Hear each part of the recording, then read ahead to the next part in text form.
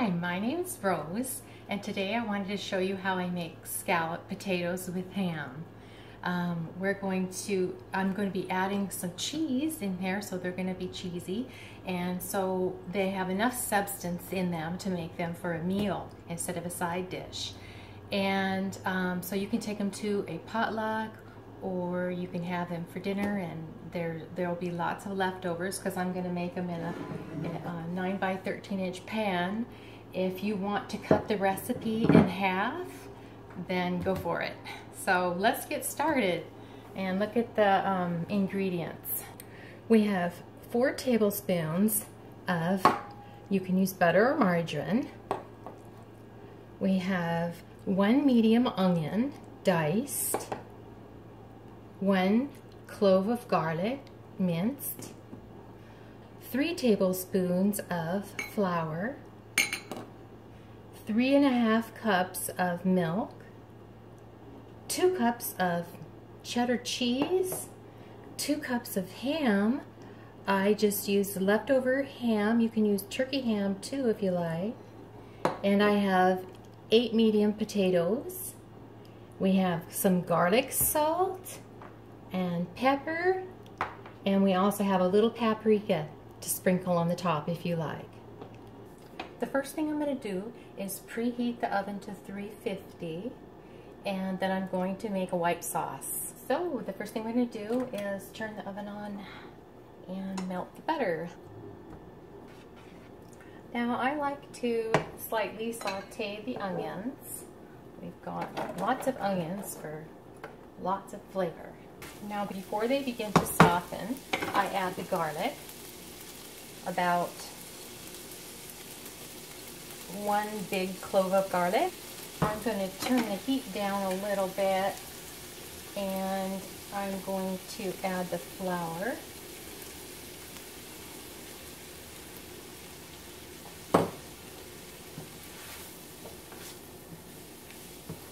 And stir that around a little and cook that in there about a minute or less, just until it's well absorbed.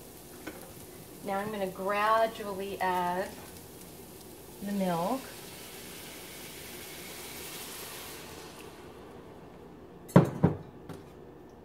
Until before it starts to thicken, then I will add the cheese. You want to make sure that you don't chop your potatoes until you're ready to use them or they turn brown. So as soon as that starts to get a little thicker, just add some more milk.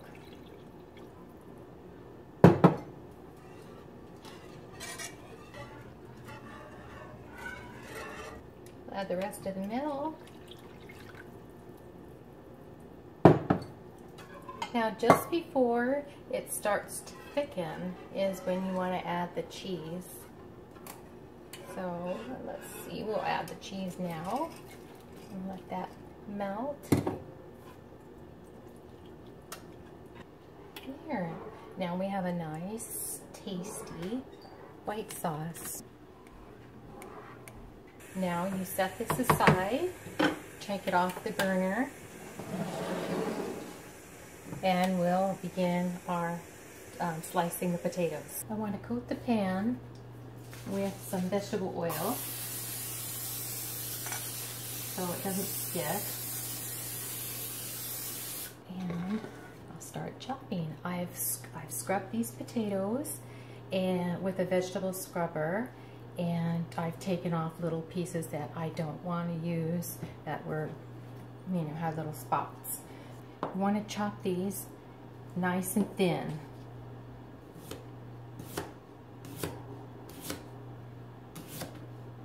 I want to chop half of the potatoes and then layer them on the bottom and then spice them up a little and then I'll put some ham in a little sauce and then I'll make another layer.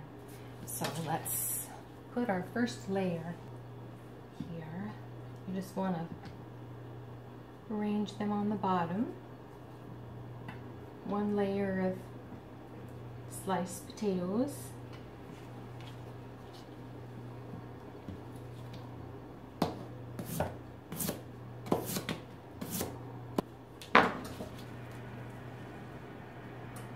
Now after I've sliced half of the potatoes, I want, I'm going to sprinkle a little bit of garlic salt.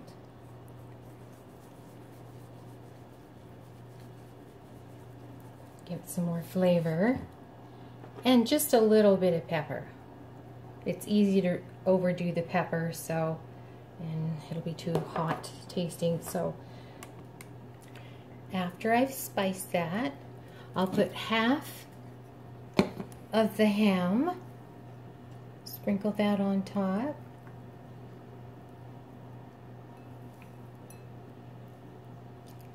And then I'll cover that with the sauce, the melted cheese sauce. Half of the cheese sauce over there. Now this will thicken naturally because of the potatoes. So you don't want this sauce to get thick before you put it on there because the, the potatoes will are like a thickening agent too. So there we go. That's the first layer. Now we're going to repeat and slice the rest of the potatoes. Remember you don't want to slice your potatoes ahead of time unless you put them in cold water or they will brown. Begin our another layer of potatoes.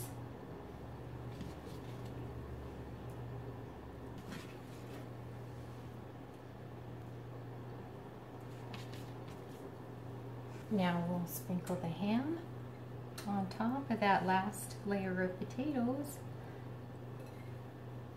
Whoops, I forgot to put the spices on, but that won't be a problem. I'll just put them on right now.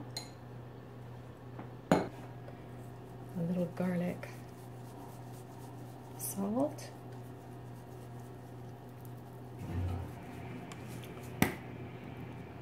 A little pepper.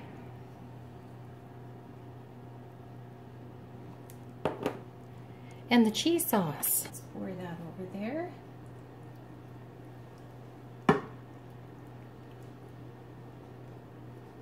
Now I'm going to top it with a little bit of paprika. You can omit this if you like, but it looks pretty and adds a little more flavor.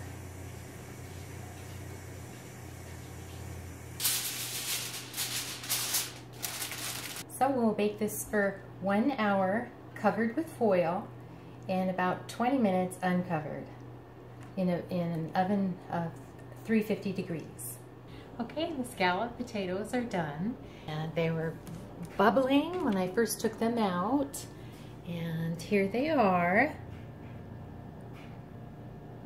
They're nice and hot. I hope you enjoy this recipe as much as my family does. Thank you for watching.